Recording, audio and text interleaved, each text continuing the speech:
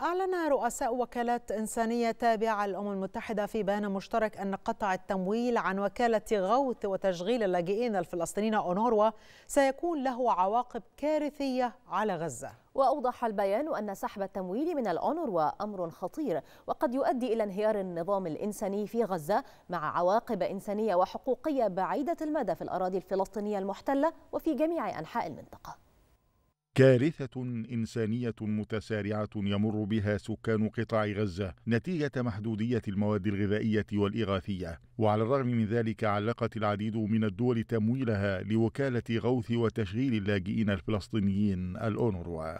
وفي اجتماع لبحث الأزمة التقى الأمين العام للأمم المتحدة أنطونيو غوتيريش ممثلي الدول المانحة في مقر المنظمة الدولية. وأكد غوتيريش أنه أطلع مانح الأونروا على خطوات اتخذت لاستجابة لاتهامات إسرائيل للوكالة. وفي بيان مشترك أكد رؤساء وكالات إنسانية تابعة للأمم المتحدة أن قطع التمويل عن وكالة غوث وتشغيل اللاجئين الفلسطينيين سيكون له عواقب كارثية على قطاع غزة. وأوضح البيان الصادر عن اللجنة الدائمة المشتركة بين وكالات الأمم المتحدة التي تشمل الشركاء الرئيسيين المعنيين بالشؤون الإنسانية داخل المنظمة وخارجها أن سحب التمويل من الأونروا أمر خطير وقد يؤدي إلى انهيار النظام الإنساني في غزة مع عواقب إنسانية وحقوقية بعيدة المدى في الأراضي الفلسطينية المحتلة وفي جميع أنحاء المنطقة. وعلقت العديد من الدول ومن بينها الولايات المتحدة وبريطانيا وألمانيا واليابان تمويلها للوكالة بعد اتهامات إسرائيل للأونروا بأنها أنها سمحت لحركة حماس